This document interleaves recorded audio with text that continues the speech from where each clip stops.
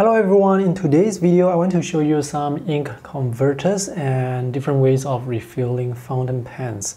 So these are some of the fountain pens I have and these are some of the ink converters that are used by these pens. On the right side here we have some ink cartridges for brush pens and fountain pens. These are disposable and on the left side we have the ink converters which are basically reusable ink cartridges.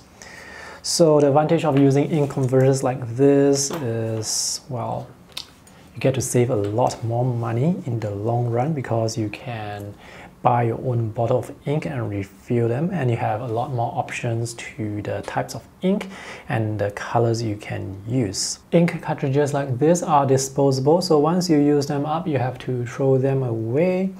Um, if they are empty you can also sort of uh, refill them if you have the right equipment. So for this empty ink cartridge, I can actually refill it using this blunt needle and syringe.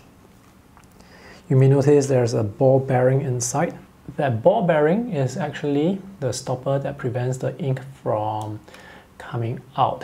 So when you push this into the fountain pen, the ball bearing will be dislodged and go into the ink cartridge. And it also serves a function. When you're writing uh, this ball bearing can actually push the ink around so that you can get access to ink at all times.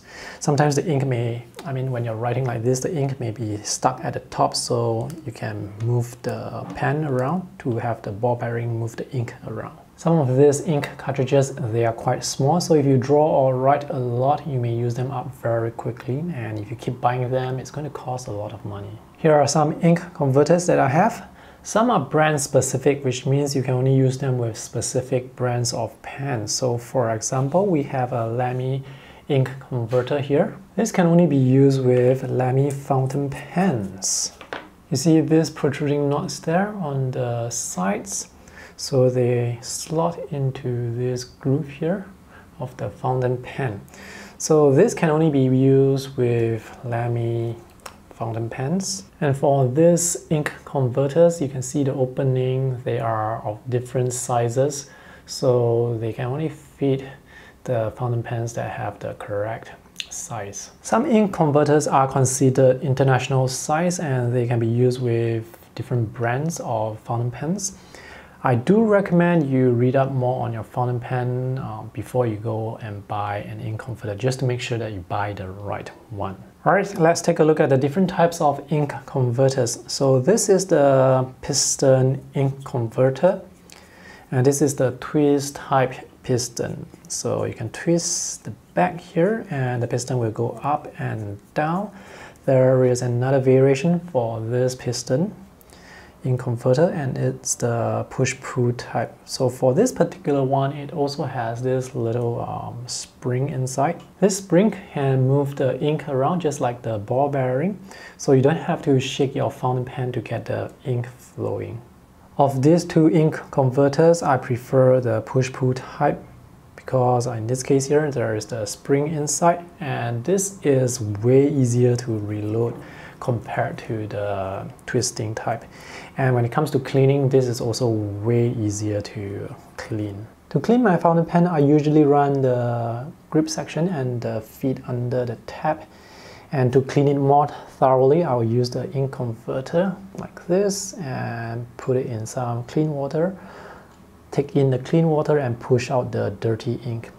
So this movement here it's so much easier with the push-pull uh, ink converter. With the twist type ink converter, I have to keep twisting it and you can see it's not that fast. It still works, but it's not as fast and convenient and easy compared to the push-pull. So if you see an ink converter that's compatible with your pen and it has this push-pull mechanism, I would recommend going with this rather than going with this.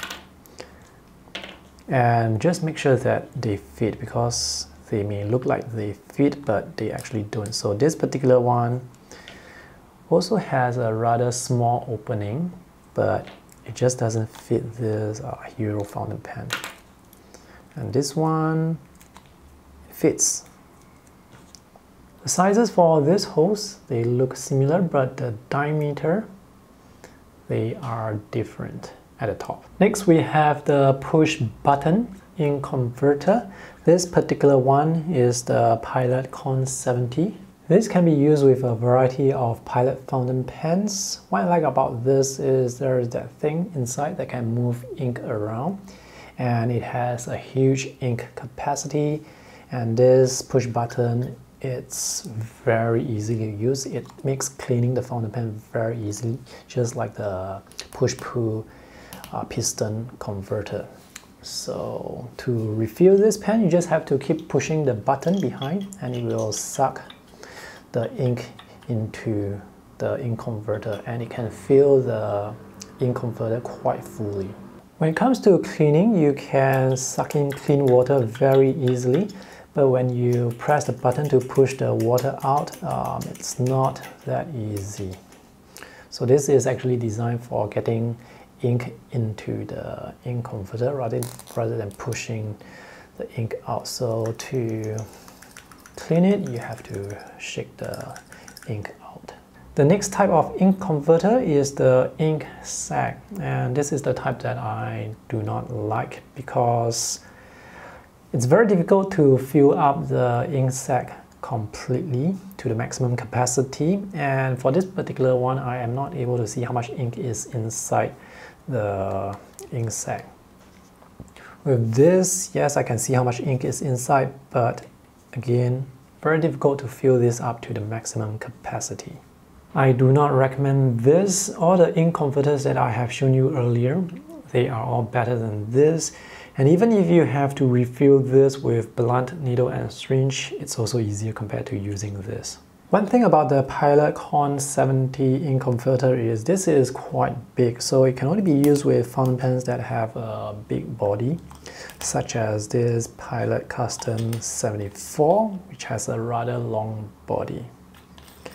If you were to use this with a smaller fountain pen, such as the Pilot Prera, so you can see this body is already shorter compared to the ink converter. It does fit, but you won't be able to close it up.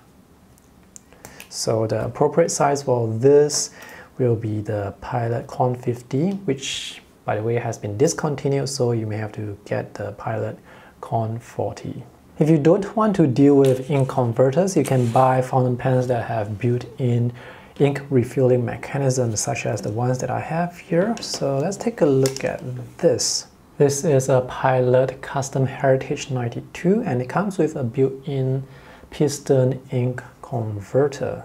The ink capacity for this pen it's huge because it basically uses the whole volume here.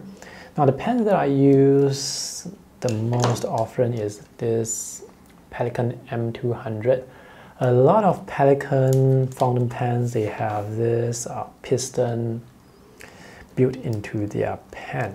And the main reason why I like this sort of refilling mechanism is because it can hold a lot of ink. So I don't have to refill the pen that often. In addition to the Pilot Custom Heritage 92 and the Pelikan M200, the other fountain pens that have built-in ink converters are some of the fountain pens from TWSBI, which is a company from Taiwan. They make very affordable and good quality fountain pens. So TWSBI is a brand that I can recommend, especially for people who don't want to spend too much money but still want to get a fountain pen with built-in ink converter. This is really nice. And we have the Noodler's Ahab for this particular fountain pen, the piston is actually the push-pull type. And we have the Noodler's Conrad, which is this one here. It has a little cap behind for the twist uh, mechanism. And this is also a piston uh, ink converter. You can see the piston. Here we have a window to let you see how much ink is left inside, which is good. Now the downside to the two Noodler's pen are um, they are quite smelly and um, the design they don't look particularly pleasing at least to me. If you know of any other fountain pens with built-in ink converters, share them in the comment section with other viewers on my channel. This is an Esterbrook fountain pen, I'm not sure which model. This particular pen has an ink sac inside and this lever here, you're supposed to do this action to squeeze the ink sac inside to get the ink into the pen. Downside is you cannot see how much ink is inside the pen and I don't really like ink sacs. Another ink refilling mechanism is the vacuum suction. So this is the Pilot Custom 823 and this uses vacuum to suck the ink into the body and this holds a lot more ink compared to all the other fountain pens that I have featured. I mean, this can probably last you for a month of intensive writing and drawing. The way this pen refills is actually quite cool. So let's, let me show you.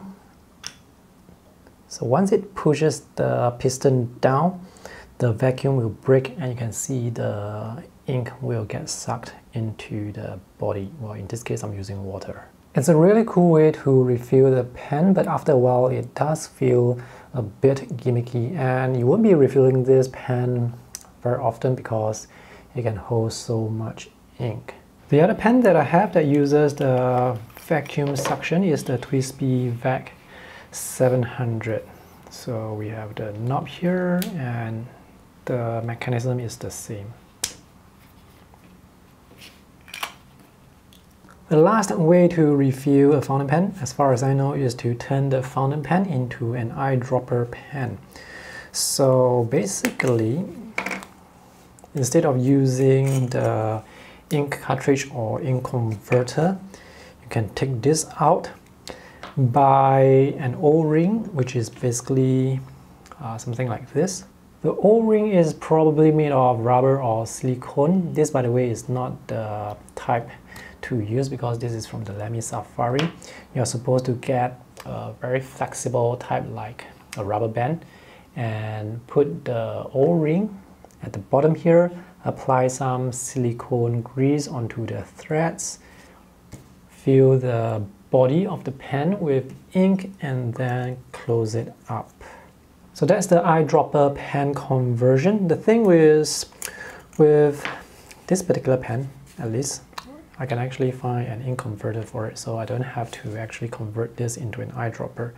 Unless you really want the extra ink capacity and you don't want to buy fountain pens with built-in ink uh, converters. So that may be one affordable way to get more ink for your fountain pen. So these are the different types of ink converters, built-in ink converters and different ways to refill fountain pens.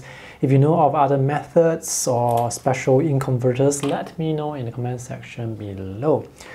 Alright, I hope this video is helpful. Thanks for watching. See you guys in the next one. Bye!